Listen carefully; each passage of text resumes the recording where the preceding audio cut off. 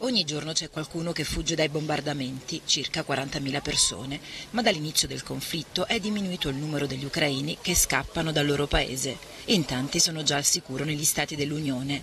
Sono oltre 4 milioni i profughi che hanno varcato i confini, un cittadino su 11. Oltre 2 milioni sono in Polonia, più di un milione tra Slovacchia, Ungheria e Romania.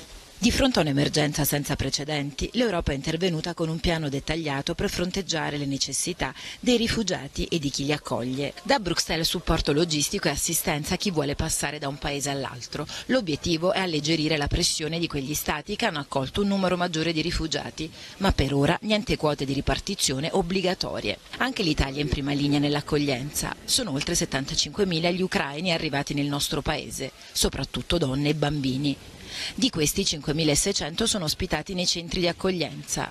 A fornire numeri dettagliati è stata la ministra dell'Interno Lamorgese in un'audizione al Comitato Schengen. La titolare del Viminale ha inoltre annunciato come gli immobili confiscati alla mafia verranno messi a disposizione dei rifugiati per un totale di 3.000 posti. Dopo il DPCM firmato da Draghi sulla protezione temporanea, l'Italia, ha sottolineato la Lamorgese, concederà il permesso di soggiorno temporaneo non solo agli ucraini, ma a tutti gli apolidi con l'auspicio che questa drammatica guerra possa sbloccare l'impasse sul patto asilo e migrazione da troppo tempo fermo in Europa, conclude la ministra.